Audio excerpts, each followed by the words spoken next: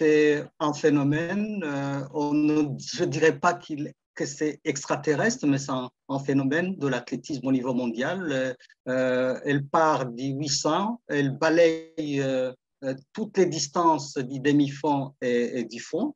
du 400, 600, 800, 2000, 3000, 2 miles, 5000 et 10 000 mètres, ça veut dire qu'elle détient le record du Burundi. Elle a le meilleur temps sur 2000 euh, euh, euh, mètres, un record qu'elle vient de battre à Zagreb, 5 minutes 21, 56. Donc, depuis les Jeux de Tokyo, où elle a été classée cinquième aux 10 000 mètres, elle vient de, gagner cinq titres consécutifs dans des grands meetings, quatre en Diamond League et également ce meeting de, Zagreb qui, qui réunit les meilleurs athlètes du monde venus de, tous les pays. Donc, c'est un honneur pour Francine euh, et pour tous ceux qui l'ont aidé euh, à, traverser ces moments difficiles euh, pour des raisons que vous connaissez. Évidemment, comme nous l'avions dit,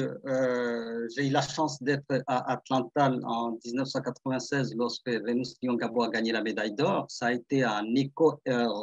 disons, retentissant qui a fait que des jeunes, tout le monde a adhéré à cette victoire qui est une victoire euh, nationale, mais aussi internationale. Euh, exemple aussi pour, je pense, euh, aux jeunes athlètes filles qui voient en Francine leur idole, donc la pratique de ce sport d'athlétisme au Burundi, où on a eu des grandes vedettes, peut finalement percer encore une fois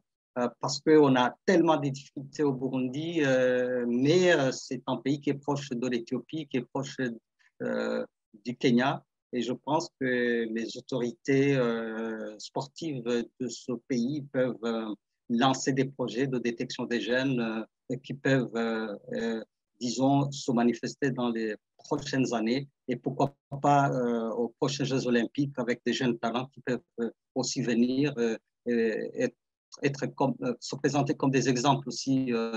de, comme, comme Vénus, comme Francine, comme Artemo, comme Gazamiampi, euh, qui ont gagné des, médailles au niveau international. Donc, ce n'est pas pour la première fois qu'on voit une, une, une, étoile, mais Francine vient renforcer ce, ce cercle, euh, cette optique, ce, miroir qui fait penser que le Burundi peut devenir, pourquoi pas, un pays comme le Kenya ou comme l'Éthiopie dans, dans le domaine de l'athlétisme.